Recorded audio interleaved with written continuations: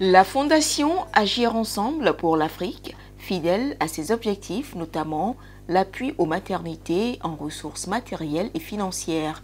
Sa descente au centre hospitalier universitaire Sylvanus Olympio, le plus grand centre hospitalier du Togo, le 12 mars 2022, a ramené le sourire aux lèvres à ces femmes qui viennent d'accoucher. Dans sa vision d'aider les maternités à améliorer la qualité des soins offerts aux patients, des lits, des tables d'accouchement et divers dons médicaux ont été par ailleurs octroyés au CHU Sylvanus Olympio à Lomé au Togo. Merci sincère à la présidente de la fondation. Vous avez pu lire dans nos pensées nos besoins du moment pour vous dire combien ces équipements nous sont précieux et ils sont arrivés à point nommé. Vos préoccupations s'alignent parfaitement sur les axes prioritaires du gouvernement.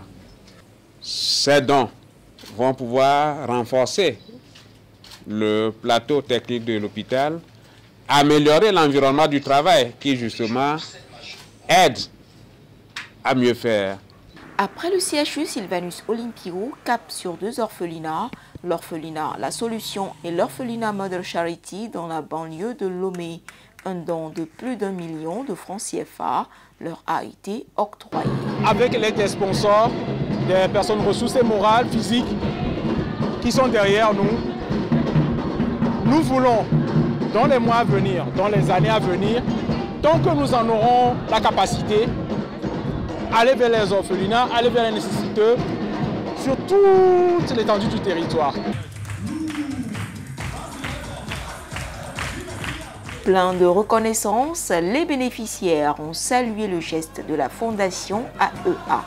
Agir ensemble pour l'Afrique est l'une des fondations au Togo en première ligne contre les inégalités sociales et la protection des plus démunis.